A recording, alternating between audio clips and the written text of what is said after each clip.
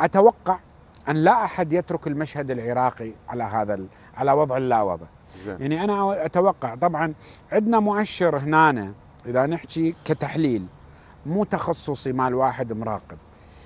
زيارة السيد الحلبوسي لإيران هاي الزيارة التي أجلت أو ألغيت وأعيد ترتيبها على نطاق واسع.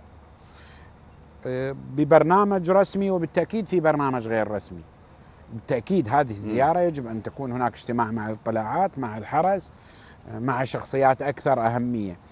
ما حاولت اني احصل معلومات مباشرة بس لكن اللي أثير هناك رؤيتين. رؤية قريبة من السيد الحلبوسي. تقول أن السيد الحلبوسي أصر على موقف الحفاظ على التحالف الثلاثي والنديه الندية مع إيران وتكلم بوجهة نظر آه، ثابتة.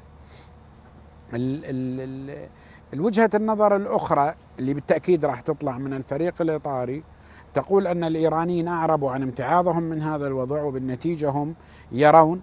طبعا بالنتيجة أني إذا أرجع تحليليا وقلت لك إياها قبل لا أدخل الاستوديو الامريكان دائما كل ما تصير آه، يسموه ديدلوك كل ما يصير انغلاق آه، سياسي بالأزمة يروحون to compromise يروحون إلى التسوية. هم بالنتيجة إحنا أنا أعتقد التوافقية صار قرار أمريكي إيراني بالمشهد السياسي بعد 2003 بشكل كامل. فبالنتيجة وين نروح؟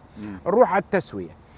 أنا أعتقد الإيرانيين أيضا هم مدرسة التسوية الآن. اللي صار في هذا المشهد هذه المرة أرجع حتى أقول حتى أكمل ما ما سرب أو ما نقل لي بشكل معين أن السيد الحلبوسي أبلغ من الإيرانيين أن هناك دور إيراني سيكون يقوم على دور الوساطة آه، ما بعد العيد وبالتالي سيحاول أيضا طبعا هذا الدور بدأ تقريبا من خلال شهر صارت زيارات إلى بعض الأطراف السياسية إلى أربيل وإلى السليمانية أيضا تفعيل زيارة السيد الحلبوسي.